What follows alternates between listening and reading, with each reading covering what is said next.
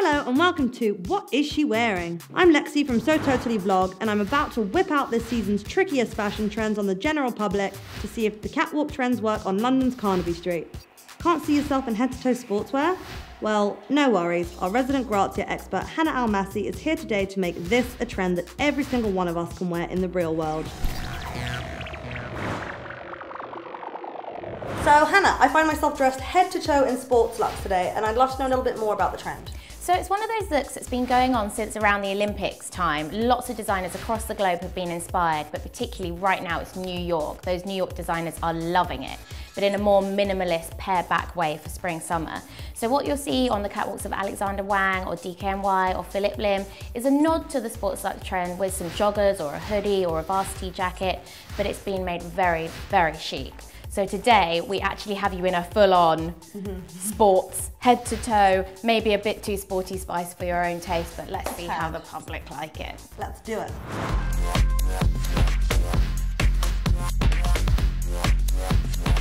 Excuse me, can I just ask you if you like my outfit? Just a thumbs up or a thumbs down? Thumbs up. Thumbs up! Down. Yes. I remember my mum having something like this in the 90s. Altogether, it's a bit much for me. Could you give me a thumbs up or a thumbs down on my uh, outfit today? Up! Verging on Lady Sovereign. Not sure about this. The hat is, is not my kind of thing. The sweater is like alright, but like the outer layer is nice. The Yeah. inner layer is not too cool. Don't like the tracksuits. The trainers are like. It's not too bad. I just think it's a little bit OTT. Excuse me, do you like my outfit? Yes. Yay! It's a nice rucksack, Yeah? actually. No, that's really nice. Yeah. Well, it's a little bit boring to me. What Okay. are you wearing? I, uh, sports stuff apparently. I wouldn't give it 10 out of 10. Thumbs down. It- It's a nice attempt, but thumbs down. Okay, so thumbs down.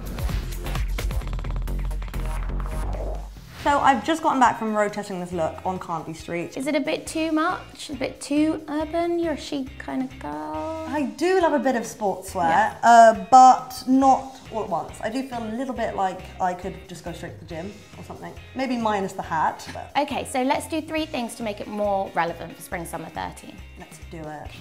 So Lexi, the first thing I'm going to do is swap one varsity jacket for another. You're very right, they're very on trend, but I think a chicer, more luxed up day to night version from Zara will do absolute wonders for your sports look this season. Step two, I think, is to change the bottom half of your outfit and go with something cute and minimal and white. It's this little tiny skirt from Topshop. It's still sporty, but just that little bit chicer.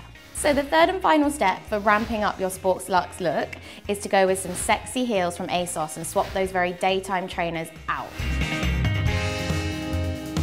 So there's just one teeny tiny last thing to make it really girly and feminine. I think we're just gonna have to change the cap to be front facing and not like E E17. I think that was probably needed. I feel like I could just hit the town with my girlfriends now. I love it. Yeah, it'd be perfect for evening, great in the day if you're doing some kind of fashiony stuff. Thank you so much. Pleasure. What did you guys think of my sporty look today? Leave your comments below and be honest. My style motto would definitely be rock chick. Cheers, mate, for that. You have no idea like how much oil is on your face until you literally like it's so easy. Just don't be too aggressive. Oh my god. I just don't think denim and denim go together. Fair I, enough. I, I wore denim out once with denim jeans, and I got told I looked stupid. Jourdan Dunn only arrived 10 minutes ago and it's all super stressful.